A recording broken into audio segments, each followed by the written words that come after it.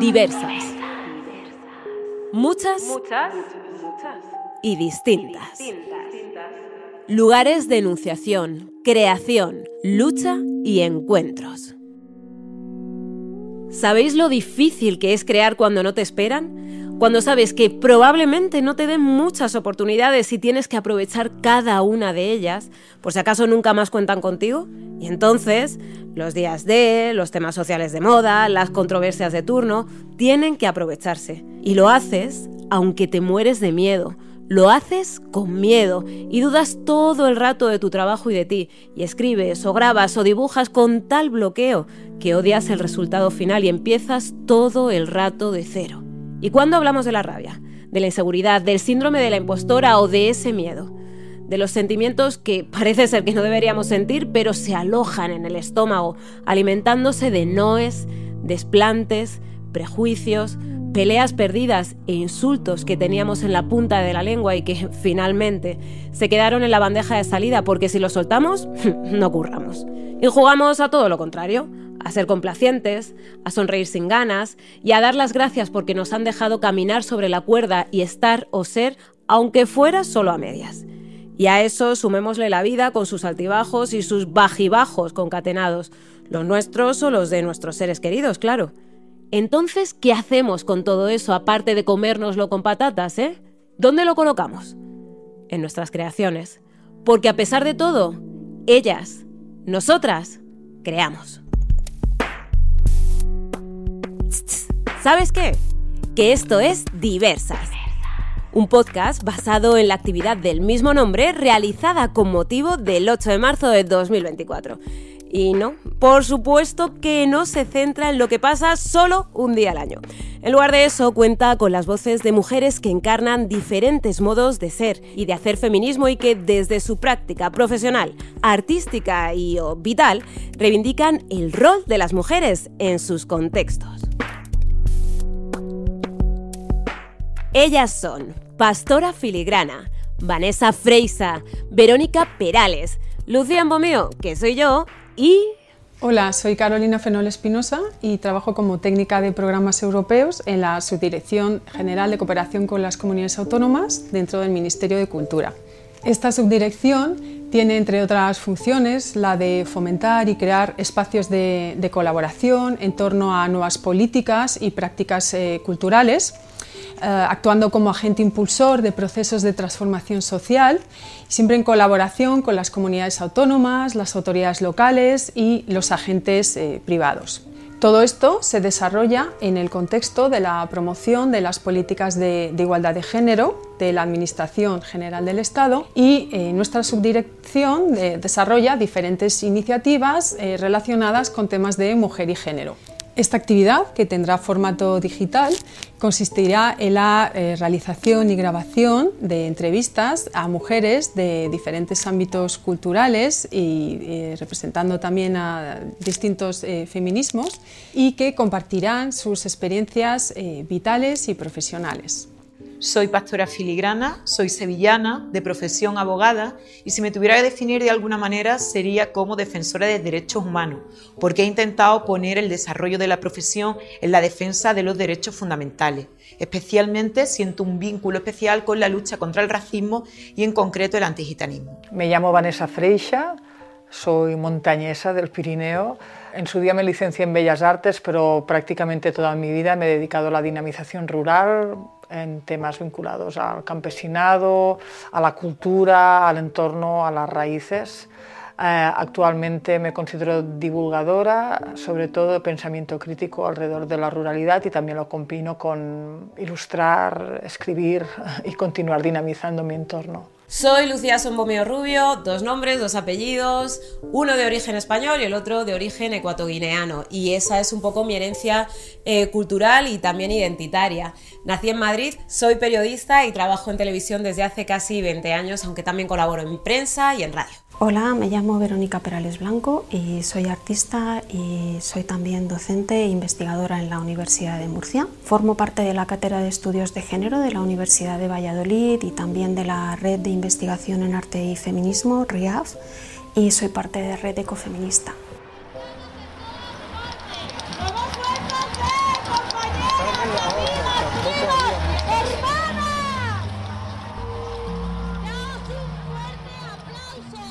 Es evidente que somos muchas, muchas y distintas, porque la luz del feminismo es alargada, se extiende por un montón de rincones y va más allá del 8 de marzo. El objetivo principal es dar a conocer la diversidad que existe en el ámbito de la mujer con el fin de mostrar las diferentes formas de hacer y de pensar que esto conlleva por un lado, y por otro, mostrar también las carencias y sesgos que se producen en diferentes ámbitos sociales en temas relacionados con la igualdad y la perspectiva de género. La mujer gitana no es un todo homogéneo. No podemos imaginar que solo existe una forma de ser mujer gitana. Desde luego hay un común que comparten todos los gitanos y gitanas y es una historia, una historia compartida, una historia de persecución que sin lugar a duda ha marcado la actualidad y ha marcado parte de la identidad del pueblo gitano. Sin embargo, la identidad de las mujeres tiene que ver mucho con su edad, el territorio que habitan, la clase social y otros muchos factores que hacen de la mujer gitana como de toda mujer una persona amplia y heterogénea. Para mí, crecer con un padre negro de Guinea Ecuatorial y una madre blanca de Segovia ha implicado interiorizar dos culturas de una manera completamente natural. Es verdad que cuando salía de casa las cosas cambiaban, pero dentro de casa mamá no era blanca de Segovia, mamá era mamá y papá era papá. ¿Qué ha supuesto? Pues por ejemplo comer los sábados pollo con salsa de cacahuete, los domingos paella, escuchar música de muchos sitios y sobre todo también poder oír lenguas de dos continentes diferentes. Me ha servido para poder ver la realidad que todo el mundo tiene delante con una perspectiva muchísimo más amplia. Respecto a mi papel como pastora, siempre me gusta recalcar que nosotros al final tenemos un rebaño de autoconsumo, es un pilar importante ¿no? en nuestro proyecto de vida, pero no tiene el mismo peso que tendría una persona profesional. En mi caso,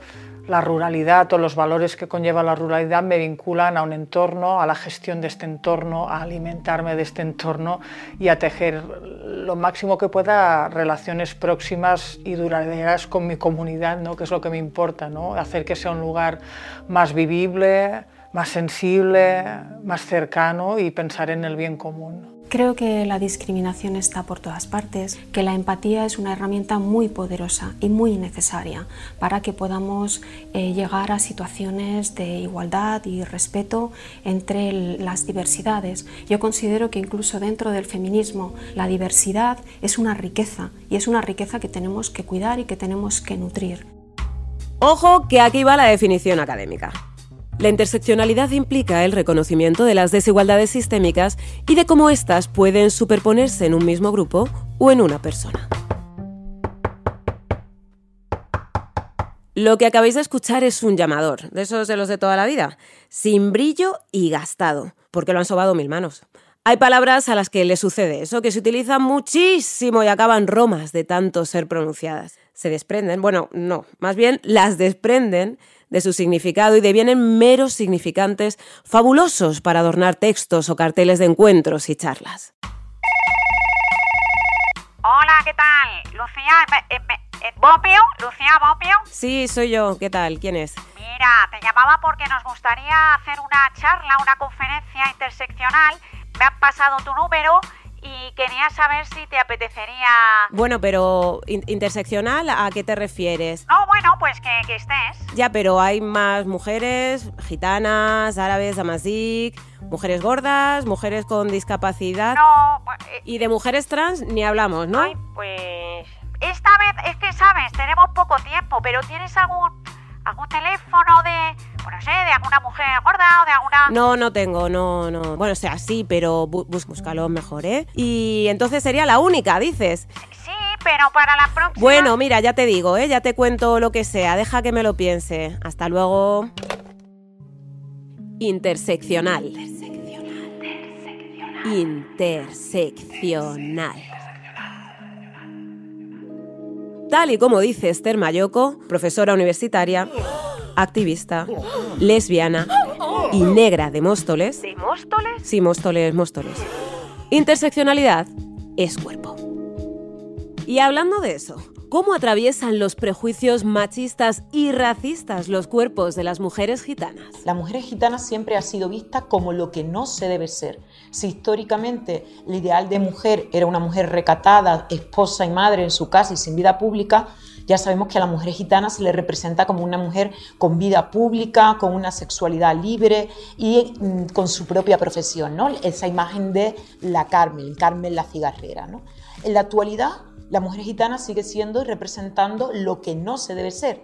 Si ahora la mujer es una mujer liberada, con vida pública, profesión y dueña de su sexualidad, a la mujer gitana se le representa como una mujer sumisa, apegada a su marido, a su familia, sin vida propia y abocada al ámbito del hogar. La discriminación naturalmente de la mujer también se produce en el campo, en el sentido que es invisibilizada. ¿no? Se ocupan de un montón de actividades y al final, en general, sino casi siempre en los lugares de decisión aparece más la figura masculina que femenina, cuando habitualmente, como mínimo por mi experiencia, son las mujeres las que en general tienen las ideas claras de cómo se deben llevar a cabo las cosas, tienen las ideas claras y rupturistas de cómo tendrían que cambiar las cosas y al final, desde mi punto de vista, el hombre es el que conserva justamente este espíritu más conservador, ¿no? al que le cuesta más cambiar el modelo ¿no? en el cual desarrolla su vida y, y su actividad económica. ¿no? Y en este sentido continuamos aún con una aparición muy menor de la mujer en el plano de decisiones, en este caso del sector primario, del campesinado, especialmente. El ecofeminismo es una manera de repensarnos en el planeta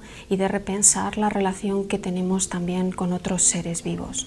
Eh, me parece que las mujeres tenemos muchos mapas del miedo, no solamente están los mapas del miedo en las ciudades, están también los mapas del miedo que afectan a cómo nos relacionamos en diferentes ámbitos profesionales e incluso también cómo nos relacionamos con la naturaleza. Para mí el afrofeminismo es luchar contra la adultificación de las niñas negras, contra la hipersexualización presente a lo largo de todas nuestras vidas, contra un fracaso escolar que sí que puede darse porque no tenemos referentes y que está provocando que el 69% de los chicos y el 60% de las chicas de ascendencia migrante no lleguen a bachillerato. Para mí el afrofeminismo es que podamos optar a un alquiler igual que el resto de la población y que no nos pongan trabas porque nuestros apellidos no sean Martínez o Pérez o porque tengamos un color de piel diferente. Es que eh, los medios de comunicación podamos salir de muchas formas y no solo ligadas a racismo y migración, porque somos muchas cosas al mismo tiempo. Es también pensar en todas las temporeras que están en los campos de lo que llaman la huerta de Europa tan feraz como feroz para quienes la trabajan. ¿no? Para mí el afrofeminismo es pensar que las mujeres negras también envejecemos, que no somos personas que acabamos de llegar todo el rato, que cumplimos años y que sean unas realidades específicas, porque precisamente por ese fracaso escolar, precisamente por, eh, bueno, por esa dificultad en el acceso al trabajo y también a la vivienda, etcétera, etcétera, al final eh, muchas de las mujeres tienen trabajos que son precarios y se jubilan con eh, pensiones bajísimas porque solo han podido trabajar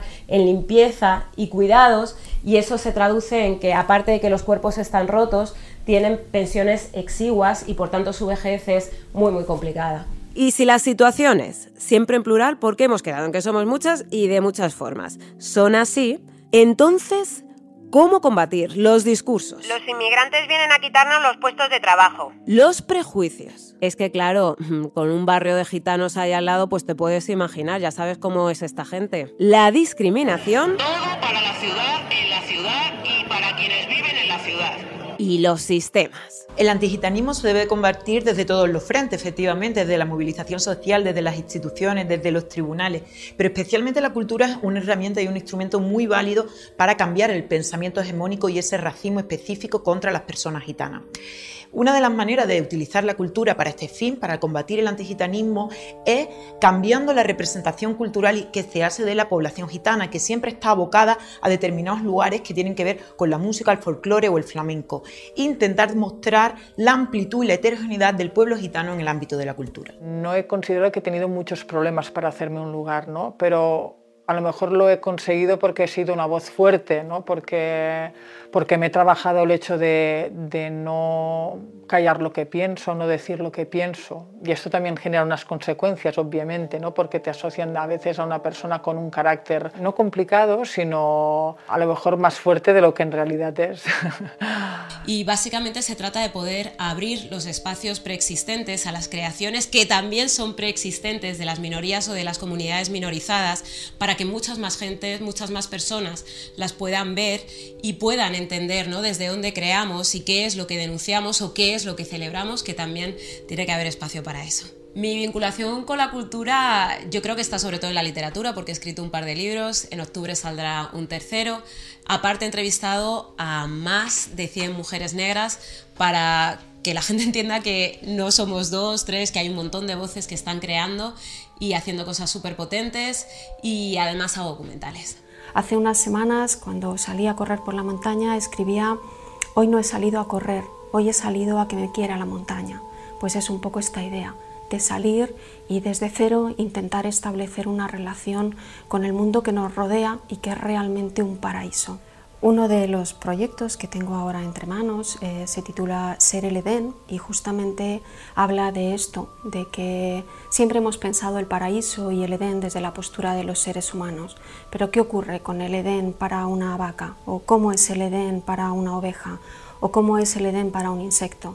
Y esto me parece fundamental, pensar y ponerse en el lugar de otros seres vivos. Y creo que aquí el arte tiene un rol fundamental, que es el de poder construir esos imaginarios o servirnos incluso como herramienta para poder dibujar.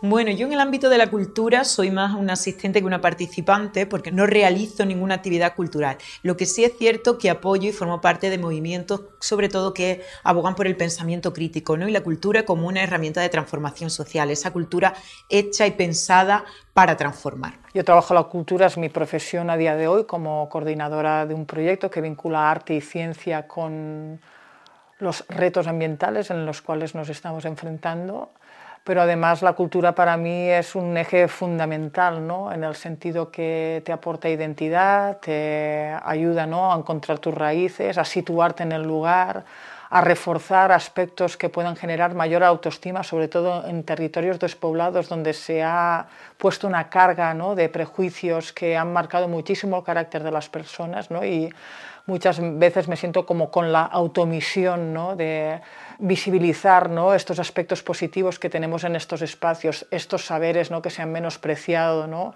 estas actividades vinculadas que son reductos de autonomía ¿no? en, un, en un movimiento, en un momento, en un mundo totalmente globalizado donde cada vez se perfilan menos ¿no? estos caracteres particulares que lo único que hacen es esta cosa positiva de darte un lugar, ¿no? de centrarte. ¿no? Las creaciones en las que nos encontramos son como un abrazo con carácter retroactivo a esas niñas que fuimos y que desconocíamos que nuestras vivencias no eran solo nuestras y que lo que nos sucedía era culpa de un sistema o de la suma de varios. Ya sabes, lo de la interseccionalidad. Interseccional.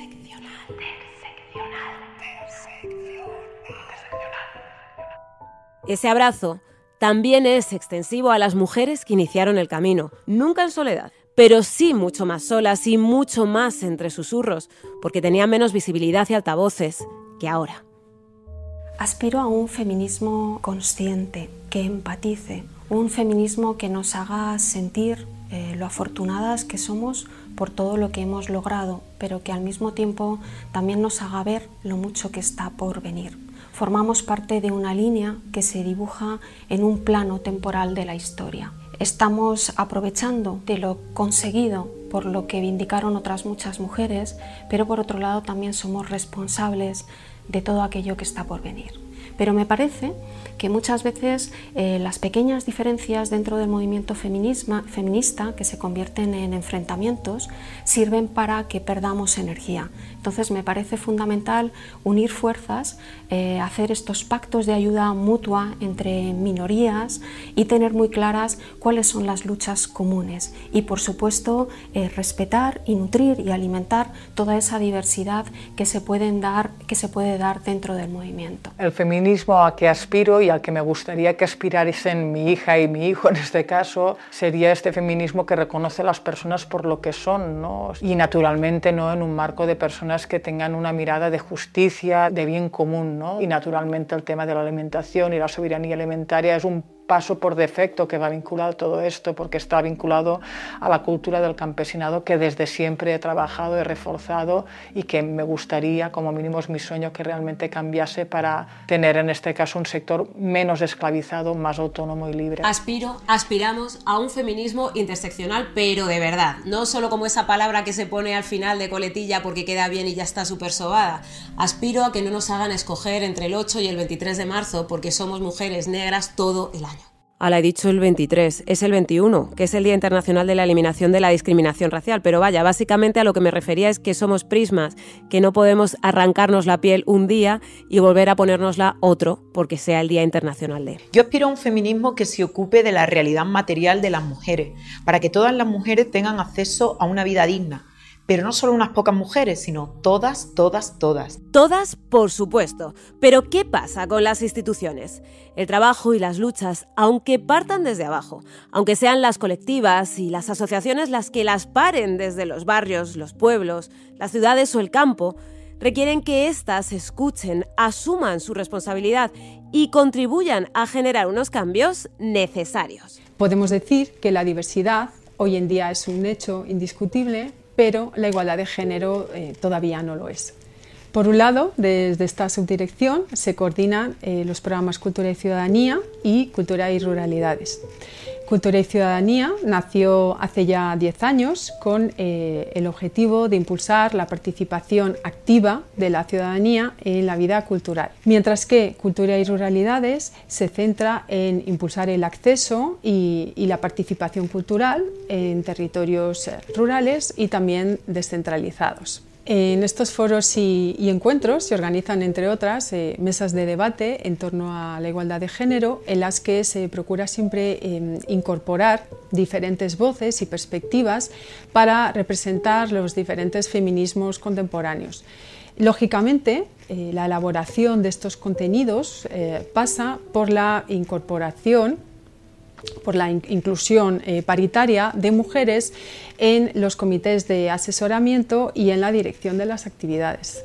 Por otro lado, en esta subdirección tenemos dos oficinas nacionales de programas de la Comisión Europea que se encargan de promover los derechos y valores de la Unión y también la Estrategia Europea para la Igualdad de Género.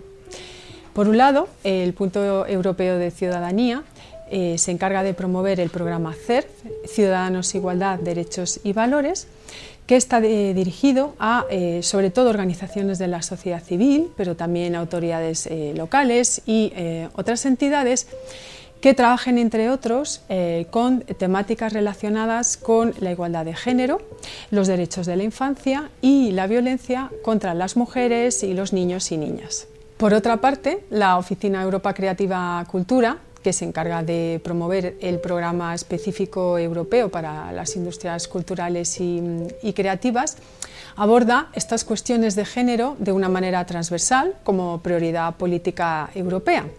De este modo, todos los proyectos que optan a financiación europea, independientemente del contenido eh, o de la temática específica que escojan, han de abordar las cuestiones de género.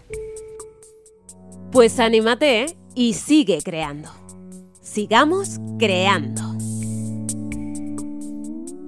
Esto ha sido Diversas, una actividad y un podcast de la Subdirección General de Cooperación Cultural con las comunidades autónomas del Ministerio de Cultura.